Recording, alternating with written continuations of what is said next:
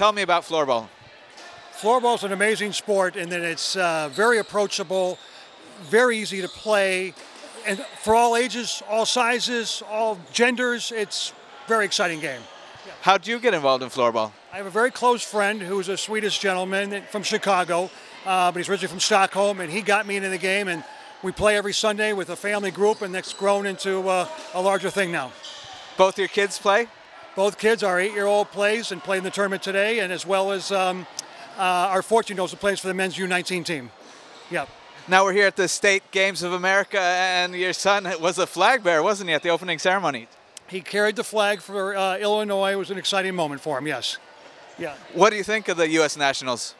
Uh, this is unbelievable. The, all the organizers, yourself, Brian Radical, um, Daryl Gross, uh, the, the, whole gang has done an amazing job. It's the best run tournament. The atmosphere is unbelievable. We've had TV crews out here. Uh, the competition's at a very high standard. It's amazing, really is.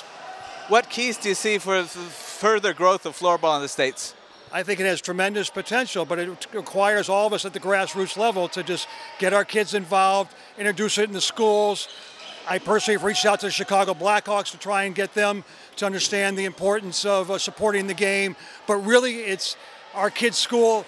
The PE teacher was so enamored with the game uh, by watching Keene that he introduced it in, his, in our school in, in Chicago. We've now got three or four schools. We need to grow that to, you know, 100, 200 schools. And uh, do you think we'll get there? I do. I think the, the potential is unbelievable. Everyone that sees the game or plays the game falls in love with it. So that's why I think the potential is huge.